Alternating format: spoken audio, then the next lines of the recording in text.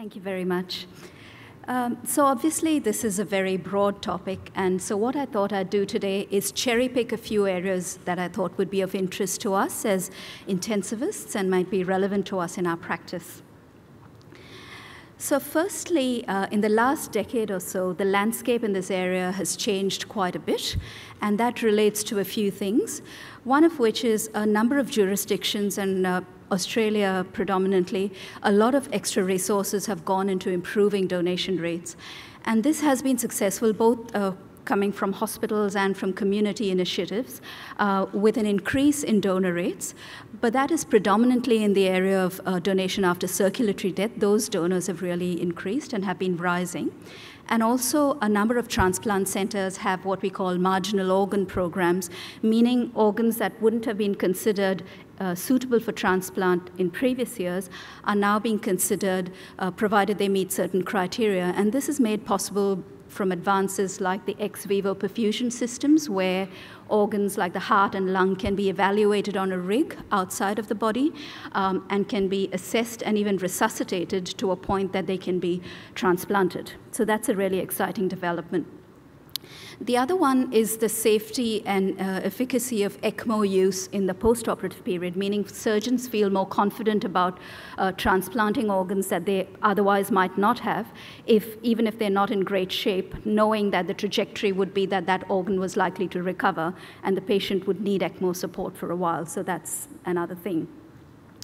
Uh, the availability of bridges, they've been there for a while. We've had ventricular assist devices, but they're getting smaller and easier to use. And it means that patients can have these devices whilst awaiting their transplant, improve their general health, mobilization, nutrition, etc., and be in better shape for their transplant when that comes up. With the lungs, that's a bit more limited, of course. The only um, bridge available is really ECMO, um, but now again increasingly uh, that can be used in suitable patients in an ambulatory sort of setting with, with patients being awake and not intubated and able to mobilize, etc. So that's another development. There's also more combined organ transplants, for example, heart and kidney, liver and lung for cystic fibrosis, for instance, and that increases the level of complexity and challenges that we have to face as intensivists looking after them. Uh, this is just some uh, data about the indications for transplants to give a general overview. This is Australia-New Zealand registry data, but it uh, reflects fairly similarly with the International Society of Heart-Lung Transplant as well. So you can see there for heart transplants, the two big um, um, indications are ischemic heart disease and dilated cardiomyopathy with a smattering of another few things. Heart lung transplant, it's not an operation that's done that frequently, um, only 198 in about three decades, um, and the majority is for congenital heart disease, Eisenmenger syndrome, and pulmonary, pulmonary arterial hypertension. What about single lungs? Again, an operation that's not done that frequently, uh, about 500 in the last couple of decades or so, um, mainly done for non-suppurative lung disease, emphysema, alpha-1 antitrypsin, and pulmonary fibrosis being the, the big ones. By far the most common lung transplant operation done is bilateral lung transplants. And there you can see that the majority of indications are split between cystic fibrosis, emphysema, bronchiectasis, alpha-1 antitrypsin, and pulmonary fibrosis. In terms of survival, the survival with heart transplant is actually quite good, and you can see five-year survivals close to the 80% mark there for the heart transplants.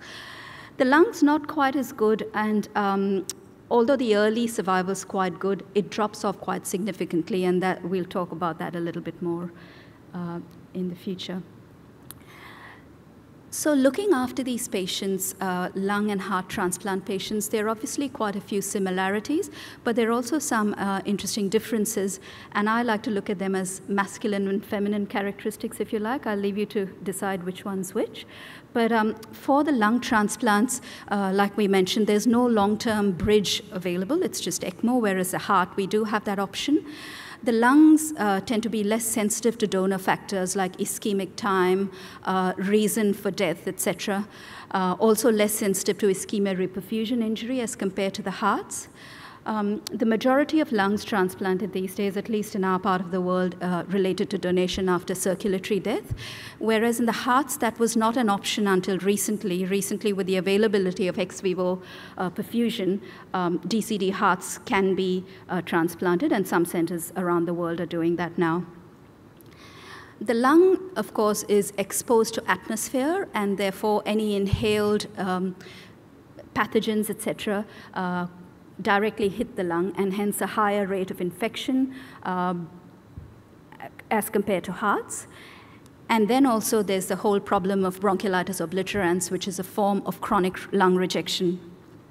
That's a small airways disease that uh, is almost inevitable, but progresses at different rates in, in different patients, um, and is responsible mainly for the poor survival associated with lung transplants in the long term.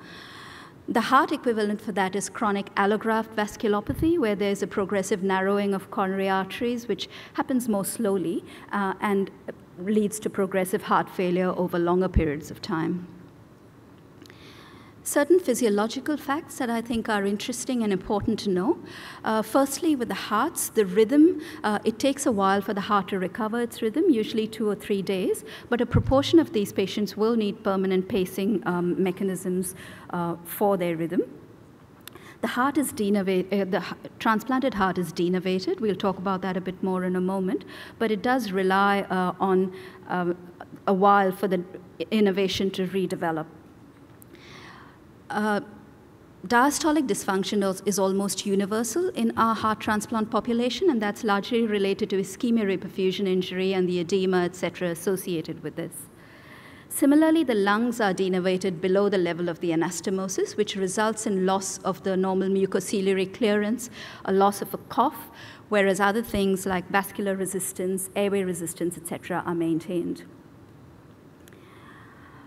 drugs and the heart, so that's important for us to know as intensivists. And you can see there that drugs that uh, rely on innervation are not effective. For example, digoxin has no effect on the AV node. Similarly with atropine. Um, with hydralazine, you wouldn't see the reflex tachycardia. Beta blockers might have an increased antagonistic effect because of denervation hypersensitivity. So for the most part, uh, these patients do reasonably well. And if we follow the principles Erica has just been talking about, about good cardiothoracic intensive care, pain control, um, circulatory and respiratory management, most of them get out of ICU pretty quickly. They're extubated in a few hours and leave ICU in a few days. However, complications do arise, and it's those patients that occupy a lot of our time and energy and also are the ones we remember. So talking about a few of this, these, um, one is primary graft dysfunction of the heart, and that essentially means the heart doesn't work when it goes, it's implanted into the recipient. And it occurs immediately, obviously, uh, and manifests as cardiogenic shock, requiring support either with inotropes in the less severe cases and up to mechanical support in the most severe cases, and requires for its definition the exclusion of other causes of uh, heart failure these are the risk factors that have been proposed for primary graft dysfunction in hearts. Uh, they're donor, recipient, and procedural factors. Most of them are pretty intuitive, I suppose. So the primary graft dysfunction is generally due to pump failure. It could be of the right heart, of the left heart, or both together. Right heart failure by far is the more common uh, manifestation and most heart transplants get some degree of right heart dysfunction. And that's because um, the right heart's most sensitive to ischemia reperfusion injury, as well as to the effects of cardiopulmonary bypass. Transfusion and protamine are other insults. And also, these patients frequently have underlying pulmonary hypertension from their chronic cardiac disease.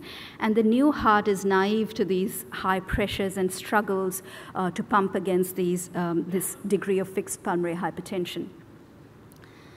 The principles of supporting the RV include optimizing uh, pacing to optimize cardiac output, optimizing uh, right coronary perfusion pressure with vasopressors is appropriate, avoiding big fluid boluses and keeping um, an excess fluid.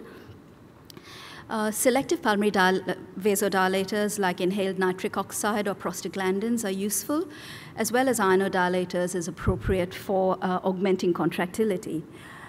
With left ventricular support, similar principles apply, and one might argue for this patient population, it's sensible to go quick, uh, quicker towards mechanical support uh, to avoid the damaging effects that catecholamines have on the transplanted heart.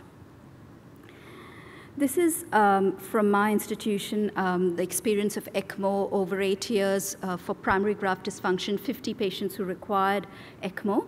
And uh, overall, 72% uh, survived to discharge, so pretty good, uh, with certain factors that seem to predict requirement for ECMO and survival. Primary graft dysfunction, the equivalent part of it for the lungs, that manifests uh, with the transplanted lung demonstrating progressively worsening gas exchange, decreased lung compliance, and bilateral infiltrates within the first 72 hours. And again, like the heart, requires exclusion of these other causes of lung failure a, staging system has been proposed for severity. I'm not sure how useful that is clinically. But in terms of management, um, the principles of protective lung ventilation that we would do for any lung uh, injury apply. There are no big studies in these areas, so we've extrapolated a lot of the literature from other areas uh, with certain caveats. For example, the donor body weight should be considered while uh, calculating uh, tidal volumes for these patients um, as well as taking into consideration that there may be the size mismatch, which results in sometimes larger lungs being implanted into smaller thoracic cavities, resulting in collapse mainly at the bases, and this will need to be recruited. Um, and again, like the heart's, early ECMO might be a way to pre prevent these damaging effects of ventilator-induced lung injury. A restrictive fluid strategy, that's self-explanatory. It's a leaky capillary sort of situation you have from endothelial dysfunction. And also the use of pulmonary vasodilators. Inhaled nitric oxide may be particularly useful because it does ameliorate this ischemia reperfusion injury. Although like in ARDS, we're not sure whether it has any impact on long-term outcomes. We often joke in my institution that um, ECMO seems to be the meaning of life and the answer to all of life's questions. But I think in lung transplant, that is in fact probably true because it's used in almost every stage. We've already talked about its use as a bridge to transplant and even in ambulatory patients. Uh, we've talked about ex vivo perfusion uh, to assess the lung prior to implantation. Also, there's more data coming out now about doing the lung transplant surgery itself on VA ECMO rather than cardiopulmonary bypass. And there's a number of studies showing better outcomes with this and also ECMO for primary graft dysfunction afterwards for lungs, as we've just talked about. So having a robust and well-functioning ECMO service goes hand in hand with a good transplant service these days. So as an intensivist, rather than knowing uh, the definition, et cetera, what we would like to know, I think, as intensivists is if my patient with lung transplant has respiratory failure, over and above the normal things I would think of in a post-operative patient, what else could it be that's specific to lung transplant? For example, pleural things like hemothorax, pneumothorax could happen as well. But other things include hyperacute rejection, which is something that needs to be recognized early and occurs due to the presence of preformed antibodies um, and fortunately is rare these days because of better matching um, technologies. Ischemia reperfusion injury we've spoken about, which leads to global endothelial damage. Infections in the donor, particularly if they've had a long ICU stay prior to being donors, manif can manifest in the recipient. Also, airway anastomotic compl uh, complications with leaks, that's relatively rare. An important one to uh, recognize, though, is vascular anastomotic complications, particularly pulmonary venous thrombosis or kinking, because this can uh, cause a lot of trouble. It manifests as a focal consolidation on chest x-ray, and if it's not recognized and addressed early, can lead to pulmonary infarction and infection, which can be quite problematic. So it's quite important to diagnose this, and this is usually done by TOE and looking at the flow, uh, looking at flow acceleration in the veins. Size mismatch we've talked about, and squishing lungs into a, a small thoracic cavity can cause atelectasis. And the other one is phrenic nerve dysfunction. I think we've had a good talk about that earlier this morning, but uh, it's a, it can occur quite commonly up to 10% in lung transplant patients. Respiratory failure down the track is uh, usually a differential diagnosis between rejection and infection, although both of them can occur at the same time sometimes.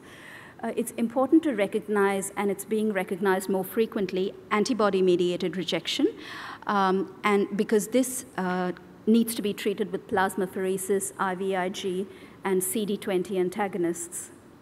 There are other differential diagnoses that can occur down the track, like airway complications or complications from a recent biopsy. Just moving quickly onto immunosuppression, uh, it's still a three-pronged approach that's used with steroids, one of each of the calcineurin inhibitors and an antimetabolite in the context of acute kidney injury or uh, a risk of acute kidney injury, calcineurin inhibitor sparing agents like ATG or uh, basiliximab are sometimes used as well. Calcineurin inhibitors obviously have an important role in um, preventing uh, rejection, but for us as intensivists are quite dreaded because they have a number of side effects that they come with, hypertension being one of them, which can result particularly in young women uh, in seizures and posterior reversible encephalopathy syndrome, which fortunately with control of hypertension and conservative me measures resolves. Nephrotoxicity, we all know, is a big one, and that can be either acute due to vasoconstriction or a more chronic form of uh, renal impairment. And sometimes you can get a microangiopathy with the CNIs, which uh, presents in the HUS TTP like spectrum, which can also contribute to renal dysfunction. There are some other specific uh, complications which I won't focus on. Distal intestinal obstructive syndrome, or DIOS, is one of those that can be seen particularly in cystic fibrosis lung transplants, sort of a meconium ileus look-alike for adults, and has to be recognized early and sometimes requires surgical management. The other one is these patients are obviously prone, uh, increasingly prone to um, malignancies, like all patients on immunosuppression. But the lung transplants, particularly because of EBV infection, can have quite aggressive forms of B cell lymphomas down the track. So, to summarize, I would say that even though as intensivists we might sometimes feel like a very small cog in a very big wheel, I think the role we play is vital and is increasing uh, with the kind of patients we're presented with and this context that we're presented with both preoperatively and postoperatively and it's certainly an interesting area to work in. Thank you very much for listening.